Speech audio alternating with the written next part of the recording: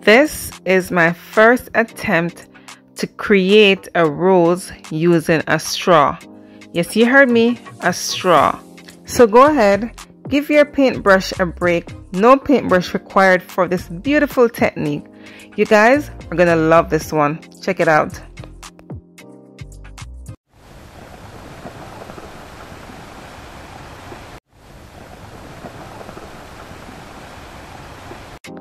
Hello everyone, it's Camile. Welcome back to my channel. Thank you so much for being here. Today I wanted to create, actually I wanted to show you how I created uh, a rose by just simply pouring paint on the canvas and then blowing it out with a straw. Just a simple straw all right guys i know you guys um, have been watching a lot of my dahlia pour painting um, using my spoon swipe technique. And i want to say thank you guys so much for the support. Thank you for liking the videos. It has really helped my channel tremendously. I want to say thank you guys so much for the support. As you can see i'm using two base colors. I'm using black and i'm using yellow. And of course, the name, the brand name of the paint I'm using will be listed in the description box below. And then i am only going to use the red paint for my rose. And that's just it. All right, but based on how I'm blowing the, uh, the, the colors, the yellow is going to give it a little bit of uh, accent, a little bit of, um, you know, give it that, that rose form. It's, it's going to help to, um, to create the rose in the form that I want. It was a bit of a challenge because you know what guys, like I've, I've said in my previous videos, if you were painting this with a paintbrush or if you were drawing this with a pencil, obviously it's, you know, way easier.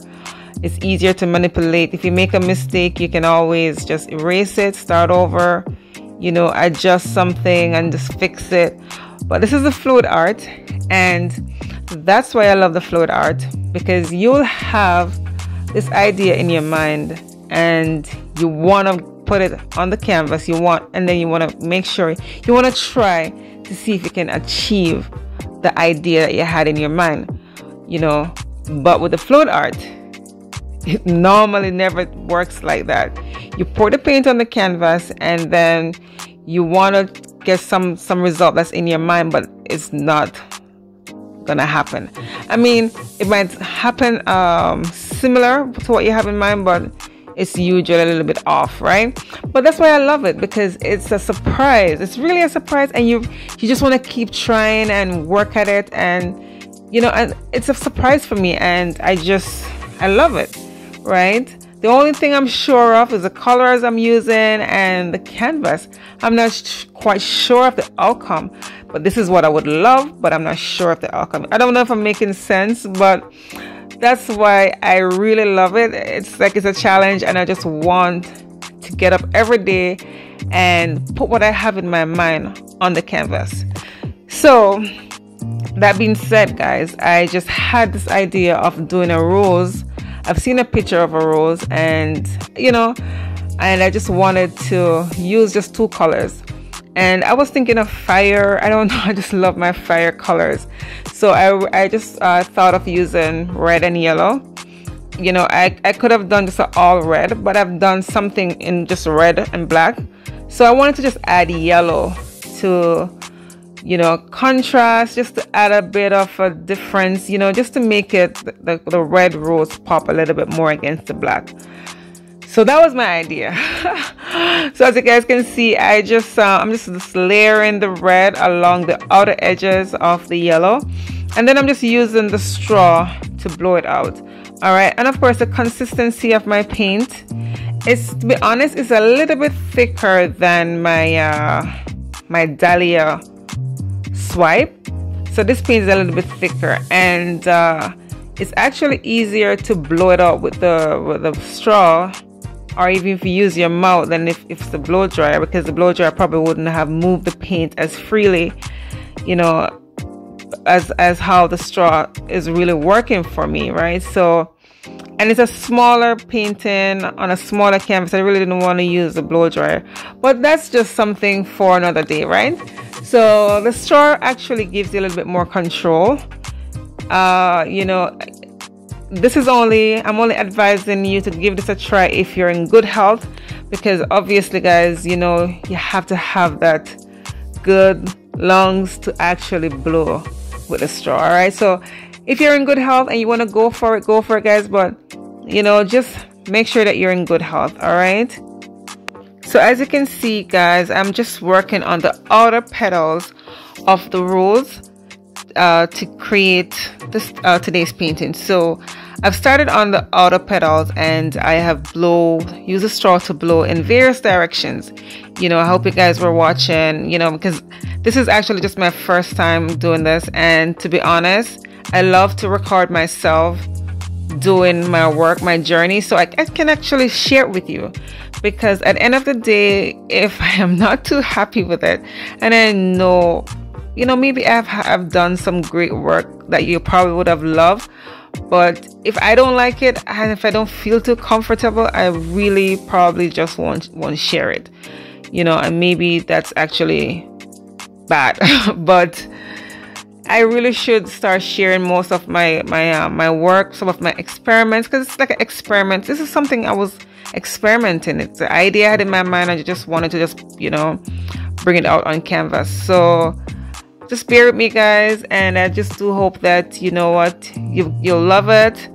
Uh, give me a thumbs up, like and share my video, of course, with your friends and family. You know, I would really, really appreciate that. And of course, I'm going to use this opportunity to say Thank you to all my returning subscribers, all my new viewers.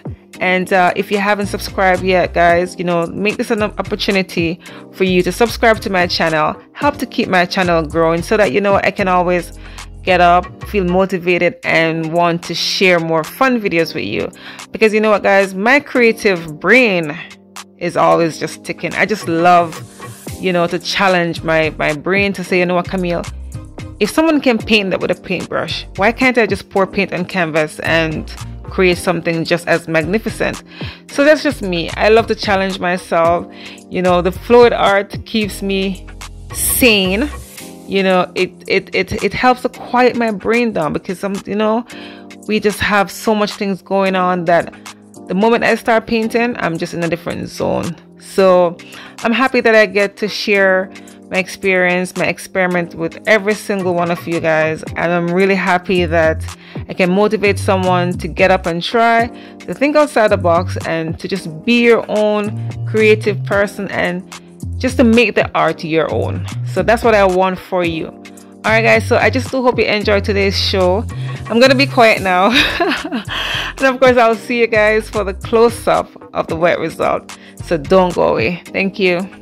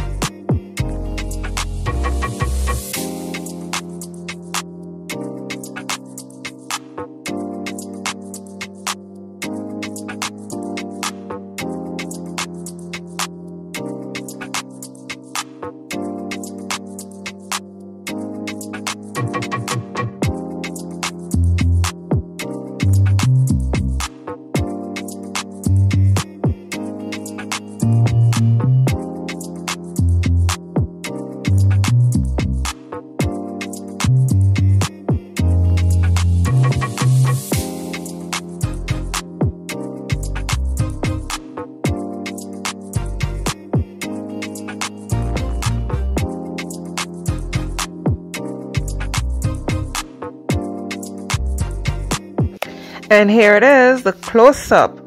Guys what do you think about this one?